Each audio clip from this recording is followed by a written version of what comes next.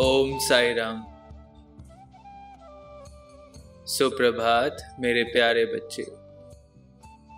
जो कदम तुमने उठाया है, जो प्रयास तुमने अपने सपनों को पूरा करने के लिए किए हैं, उनसे मैं खुश हूँ। तुम जो कुछ भी करते हो, वो मुझे समर्पित कर दो। तुम जो कुछ भी करते हो, वो किसी ना किसी रूप में, किसी ना किसी की सेवा के रूप में काम आता है।